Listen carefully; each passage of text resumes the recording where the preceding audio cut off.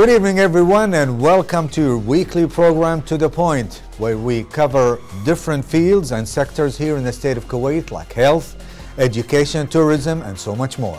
We will shed lights on important points with our distinguished guests.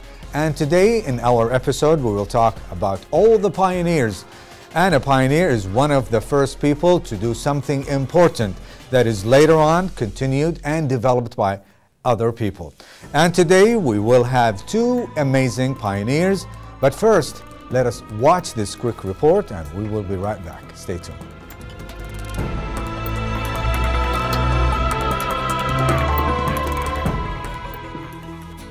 The pioneers of Kuwait have done a spectacular job in representing Kuwait abroad with their remarkable achievements. Not just that, but they have done a great job in representing themselves in their countries as well. Each individual worked so hard on a specific career path, and after good practice, they have reached the position that they are at today. With this outstanding work, they were able to achieve great recognition, whether it's here in Kuwait or abroad. They managed to display their work on local and international levels which makes everyone ever so proud of them and the work that they have accomplished over the years. Each one of them entered a field of their own to distinguish themselves from the rest and set themselves apart. All of them did what they had to do in a unique way, and that is why they got recognized the way they did. Let's start with the contribution of the Kuwaiti pioneers in the Olympics. Kuwait has competed in 12 Summer Games. To date, Kuwait has won two bronze Olympic medals and the Kuwaiti athlete Faid El Dehani won a gold medal as an independent athlete. Another popular pioneer is Tariq Al. He is Kuwait's wheelchair fencing champion. He won three medals along with the title of Best Fencing Champion during his participation in the U.S. Fencing Championship for the Disabled. Moreover, another pioneer is Abdul Mohsen Al Baghli. He is a solo traveler on his motorcycle. His message is telling the world about Kuwait. He would visit country to country on his journey and introduce Kuwait there. The longest journey he had had lasted 60 days.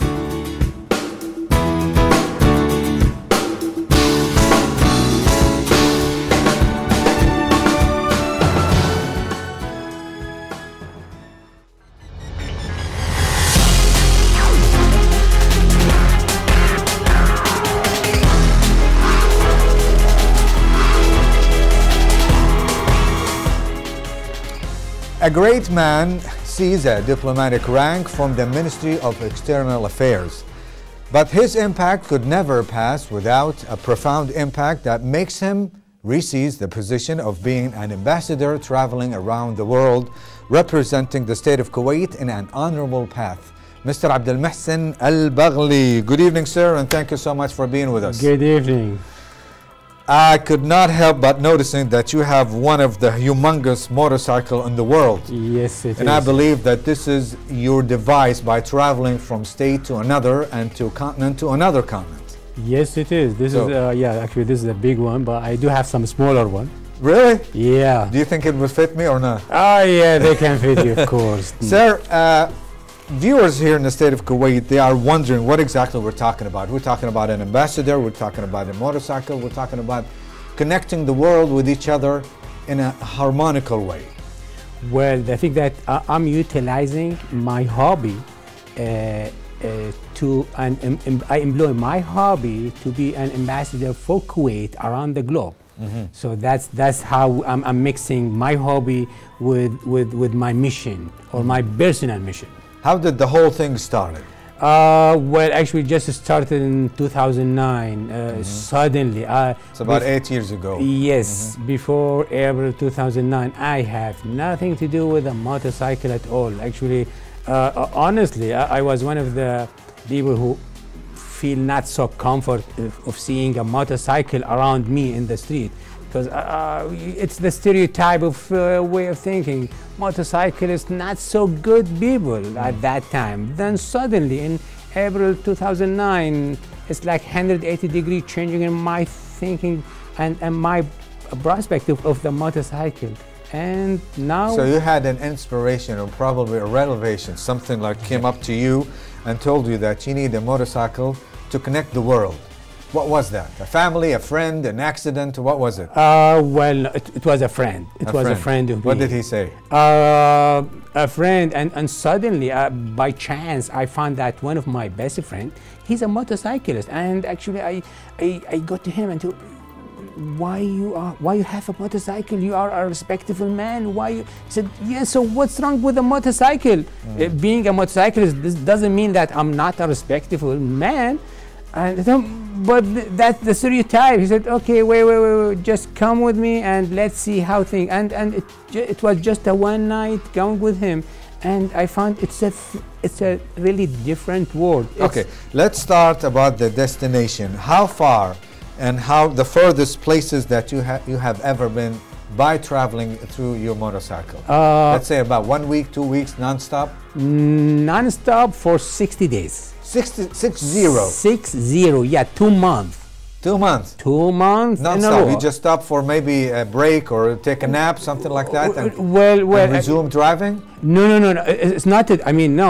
It's not. It was not a driving, but Ah. I was away from home for the maximum uh, period till now.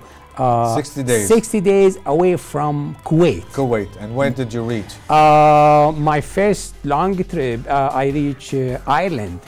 Ireland. Oh, Ireland. The Moher Cliff, the far uh, point I can reach with my motorcycle without shipping. From What was the motivation to go all the way to Ireland?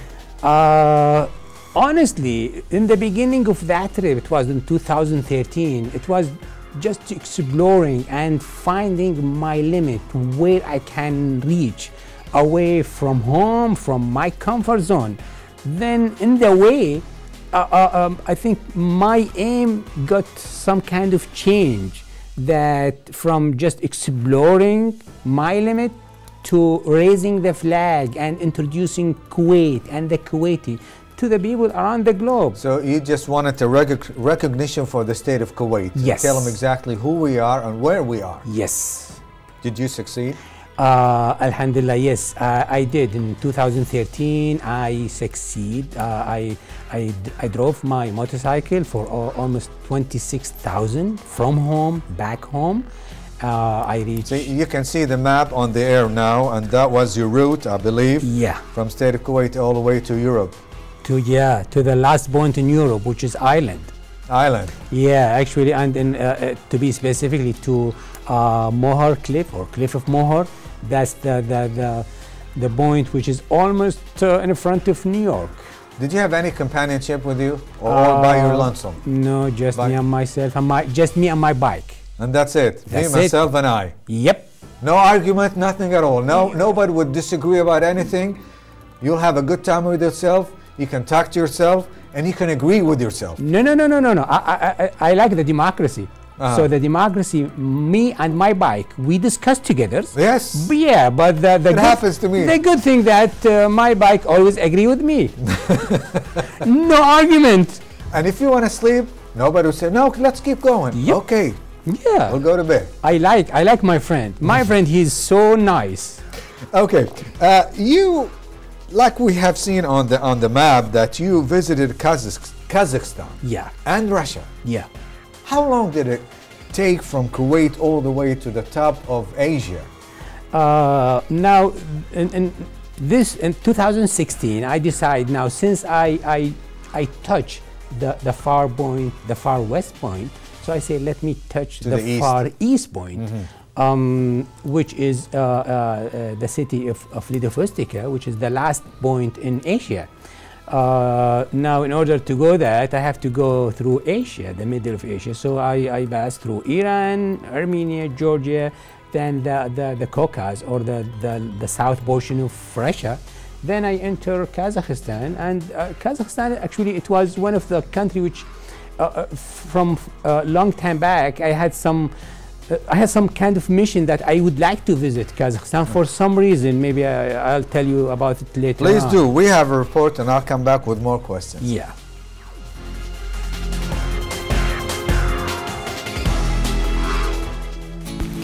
Kuwaiti globetrotter Abdel Mohsen al-Baghli has always sought to deliver a message of pride through exploring foreign cultures.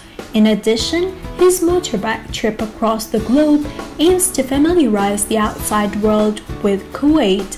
At the same time, he is able to introduce himself to new cultures and civilizations. الفكرة اني انا قطعت المسافة ووصلت الى اقصى الغرب واللي هو ايرلندا قطعت اوروبا كلها فهالحين انا ودي اني اقطع اوصل الى اقصى الشرق آه، واعبر واتمتع بجمال آه، اسيا الوسطى والدول خصوصا الدول اللي هي روسيا والدول روسيا اسيا الوسطى On every journey, the Kuwaiti flag is taken with him on the motorcycle.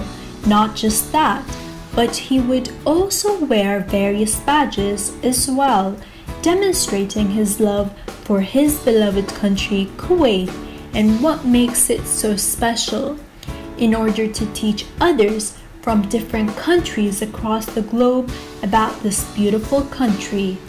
His very first trip as a solo motorcyclist traveler was in the Middle East. He had many trips after that with the same goal. أوصل صورة مشرفة عن المواطن الكويتي آه، باني انا دائما رافع علم بلدي و... و... والمهم توطيد العلاقات هذه راح يوطد العلاقات بين الكويت وبين روسيا وبين الدول اللي قاعد ازورها. In 2013, Abdel Mohsen al-Baghli journeyed to 17 European nations, a two-month trek that saw him cross some 26,000 kilometers. He started his trip from Kuwait all the way to Ireland and all the way back.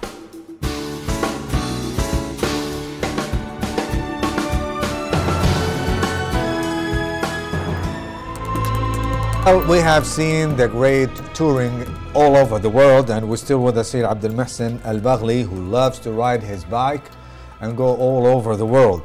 But before we go any further, let us talk a little bit about Astana and that's the capital of uh, Kazakhstan. Kazakhstan, yeah. What made you just get up early in the morning and say, I want to go over there? Why? What's going on? You have some, some back at your head and telling you what to do, Yes, correct? yes, yes. Actually, uh, uh, it was my dream mm. to visit Astana specifically and visit uh, the Ministry of Agriculture in ah. Astana. You're a gardener or something? No. Love flowers? no, it's not about that. It's not about that. Uh, the, the, the reason or what's so specific about uh, the Ministry of Agriculture in Astana that this building, it was a donation uh, from Kuwait ah. to Kazakhstan. That was done during uh, the era of our uh, uh, ex-Emir, Sheikh Jabir Al-Ahmed. Uh, uh, it was a donation. It was that that was in around 1999. The commissioning of the building was uh, was done or commissioned in December 2004 as an, a gesture of thank and appreciation from Kazakhstan to Kuwait. They kept a miniature uh, of Kuwait Tower in the building. Mm. Now, Kuwait Towers available in Kuwait and in Astana. So that, that was a token of appreciation yes, from them. Yeah, and, and, and more, they also, they add the, the, the photo or the, the, the, the, drawing of Kuwait Towers in one of their uh, money, uh, the 500 tenge. And uh, so uh, uh, it was one of my aim to go there and to take a photo. And because I want to, uh, uh, what I noticed that almost 99% of the Kuwaiti, they don't know about that. Uh, about that, our uh, uh, ex Emir, he, he, he just like, you know, put Kuwait name in the middle of Asia. And so that was one of the specific reasons to go there. So your trips that wasn't only to foreign countries, also in the GCC countries. You went to Yes. Oman, and you went through Saudi Arabia and all the way to the bottom of the, the ocean. Yes. What was that? Uh, well, uh, now going from Kuwait to Moscow, I, I can I can just do it quickly, crossing from Kuwait to Iran directly. But I, I, I- felt that I'm I'm the son of the GCC, so in order to be representing all the GCC countries, so I passed through Saudi Arabia, uh, United Arab Emirates, and Oman, then going to Iran. Uh, I'm, I'm, uh, I'm not only a Kuwaiti, I'm a GCC citizen. And all the way to Oman, and this is your picture over there. Yeah, that, that's that's my my last trip to uh, Oman.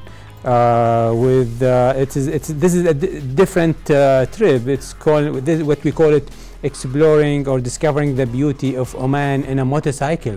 Uh, the uniqueness about this trip that um, it is there's no hotel. It just No uh, hotels. you no hotel at all. Outdoors. Yeah, you had your own tent, your own food, everything. Yes, yes, yes. I don't think everything was smooth sailing. You must have had some troubles here and there. How did you overcome these uh, troubleships? Uh, I'm not going to uh, name it trouble. I'm going to call them Obstacles, uh, adventures. adventures. Adventures. Well, It's- that's a good okay, way to put it. Yeah, it's a, it's a positive um, uh, meaning for, for, for my adventures. Uh, and You can call it anything you want, but still Yes. troubles. well, uh, they are adventures, and Uh-huh. well, y- I- I'm sure you, you are not going to eat your food without salt and pepper. No. Yeah, so. Okay. uh, But you did. Yeah, Uh-huh. I, I, so this is what I did. Th- those are the adventures. The adventure which. Uh, uh, What uh, about broken bike, flat tires, probably accidents, animals on the streets, anything at all? Thanks God, uh, I'm still one piece. Uh, there's no animal, no animal eat any member of my body. I'm still intact. Um, Sometimes I face some kind of um, the adventures uh, uh, in crossing a border, especially you know while crossing the border. There's a lot of uh, rules and regulation, but uh, I enjoy it. I enjoy even those. When you went to Europe, some of them there, they do not know the location of the state of Kuwait, let alone Kuwait itself. Yep. How did you manage to bring up the big picture to their minds that the state of Kuwait is a, a legitimate state in the world and member of the UN and it has all the meanings of the great countries? How did you manage that? Because when we go to Europe or maybe United States, people say, Where is Kuwait? Yes, it How just far is Kuwait? It, it, it's just a tiny dot in- Yes. in, the map of in the globe. Uh, usually, uh, I do have uh, most of the time I have a map, a map of the globe, and I use my my laptop. Of course, in, the- in the laptop it will be easy to show the globe, then zoom in, zoom in, zoom in till I reach. Uh, the Arabian Gulf and the Arabian Peninsula, then I show them where is that dot, and uh, yeah, And did you have souvenirs from Kuwait representing Kuwait and exchanging souvenirs with the others? Uh, usually, yes. Uh, uh, most of the time, I have small flags, and uh, some of those uh, pen which I distribute, uh, I exchange with uh, friends uh, from all around the globe. Yeah. Did you have uh, like a, a cooperation with the authorities in these countries? Like, uh, for instance, they will facilitate the visas and you can get it anytime you want because you're passing through and uh, trying to let the people know all over about the Kuwait. Um, honestly, I don't need that. Uh, um, no, I, I, I just go through the the, the normal uh, procedure just to enjoy my adventure. We have another picture of you here. That's a good one. Yeah. Yeah, this is in Dubai. What was it? What was the motorcycle? It's a different than the one that you have Uh, behind uh, you. well, it's not in Dubai. It, they are all in Kuwait. All in Kuwait. The, that one uh, near the tent, it was uh, the tent near my house, honestly. okay, and uh, now yeah, this is this is uh, in the top of Araba. Uh, this is in, in the north of Italy, Italy. and this is an Isle of Man. It's a small, tiny uh, island. Uh, this is in Germany, middle of somewhere in the Germ- in Germany. German. Yeah, and yeah, this is Cliff of Moher. This is the point which uh, um, uh, I want to go there. This is Jordan. And all traveling by the motorbike? Yeah. That's it? Yes. Okay, let's go back to the first of the interview when you said that you used to hate motorcycles. Yeah. You used to hate the people who ride motorcycles. Oh, uh, yeah. Well, but all of the um, sudden, everything changed. Yes. And you fell in love with it. Oh, yes. Uh-huh. Why? Uh, I just want to stress on this moment, why? Why? Uh, In Arabic, we call it Subhan Mughayr Lahwal. yes.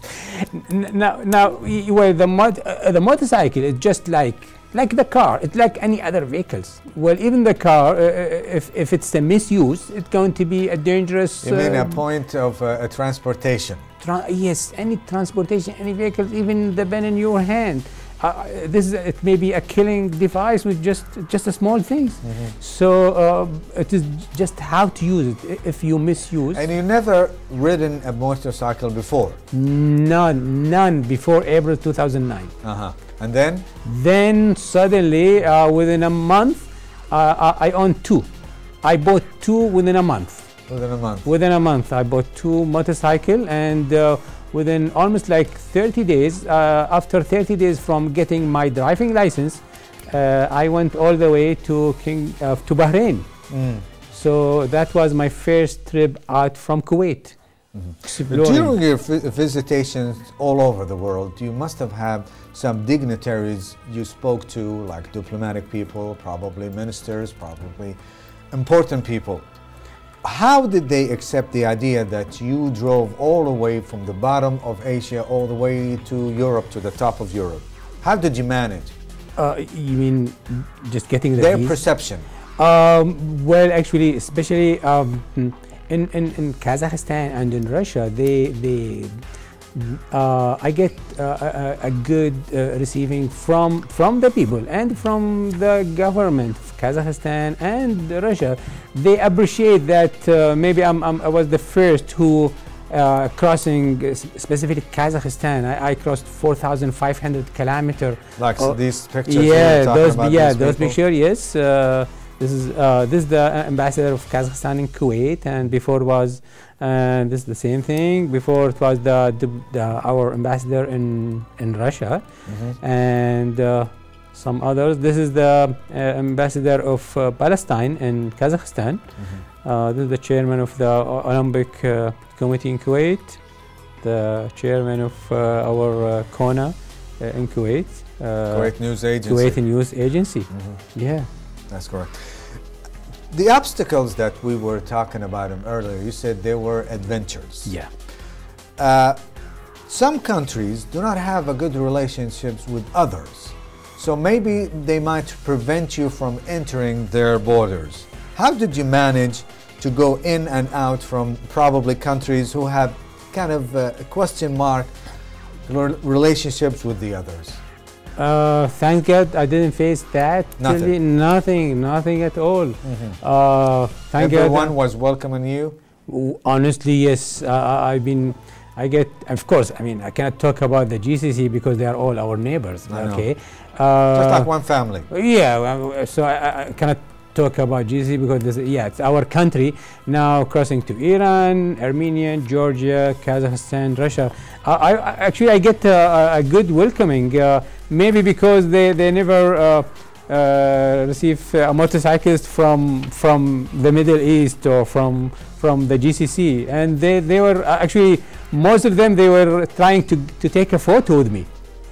Oh, Yeah. so you became a celebrity all of the time. Ah yes. You used to hate motorcycles, and now motorcycles gave you Yes. one of the cele- celebrities in the world. Oh yes, es- specifically in Kazakhstan. Okay, Let, let us talk a little bit about establishing Al Baghli Benevolent Association. Yeah. What was exactly we're talking about here? Um, well, of course, this is one of the our uh, family uh, uh, association. Just like on the air now. Uh, yes, and Uh-huh. that was the uh, we uh, that was in 2015, and uh, inshallah this year also we will be, be having the same uh, uh, as a contribution and uh, for the uh, for our National and Liberation Day, we will be having a, a kind of uh, uh, in uh, in the uh, seafront in our Gulf Road. Uh, it is uh, like a celebration of uh, our Liberation Day and National Day, and also it, it is like a group birthday for everybody born in 25 and 26 of February. Uh, so this is why we started uh, from two years back and uh, inshallah we will be continuing with this uh, practice. Bi'idhnillah. Bi'idhnillah. Mr. Al Baghli, a pleasure to have you here and please come back again and tell us more about your adventures in all over the world. Inshallah. Thank you for, very much for uh, giving me the opportunity to speak about my trips, my mission, uh, about raising the Kuwaiti flag around the globe. Dear viewers, still to come right here on To The Point right after this. Don't go away.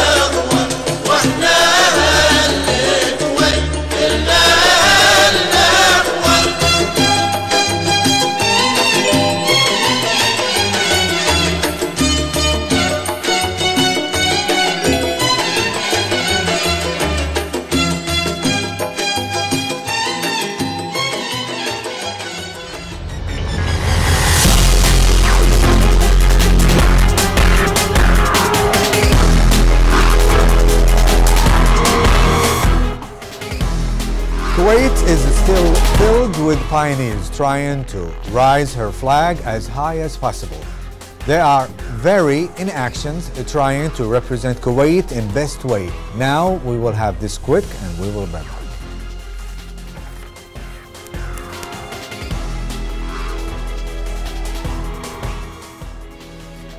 are numerous sport games, however, the funnest and most interesting is definitely pro karting. If you're wondering, is this type of sport safe? Then you shouldn't worry at all because it's a very safe type of sport if taught and learned correctly. Both males and females, along with young kids, could enjoy it. So the whole family would be able to engage in such a wonderful